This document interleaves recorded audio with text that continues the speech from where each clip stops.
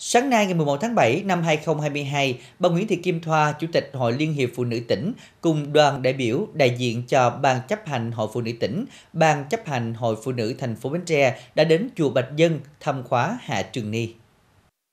Thay mặt lãnh đạo Hội Liên hiệp Phụ nữ, bà Nguyễn Thị Kim Thoa, Chủ tịch hội đã chúc mừng quý chư Tôn Đức Ni từ các cơ sở tự diện tập trung về chùa Bạch Dân theo học khóa an cư kiết hạ 2022 và thông tin đến quý chư Ni đang học tu tập giáo lý một số kết quả nổi bật của Hội Liên hiệp Phụ nữ tỉnh trong thời gian vừa qua đặc biệt là công tác an sinh xã hội trong và sau đại dịch Covid-19 bằng những chương trình hoạt động thiết thực như chương trình Mẹ đỡ đầu, chương trình Triệu phần quà sang sẻ yêu thương.